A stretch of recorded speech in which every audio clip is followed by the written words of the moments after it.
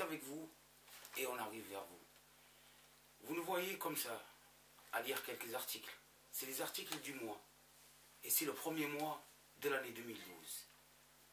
C'est avec cela que nous avons commencé. Et c'est avec cela qu'on va vivre cette année, mois par mois. Et surtout, événement par événement.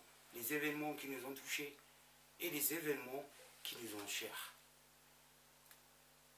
Mais attention, on pensait tous à une chose. Cette année 2012 a été élue car même la fin du monde. Aujourd'hui, on est le 29 décembre, c'est-à-dire journée de fête, bientôt le 31, on passe à une nouvelle année. Sans citer cette année parce que ça porte malheur à ce qu'il paraît, si on la cite avant qu'elle arrive. C'est pour cela que nous allons rester en 2012 et nous allons suivre quelques événements ensemble. Je commence tout de suite.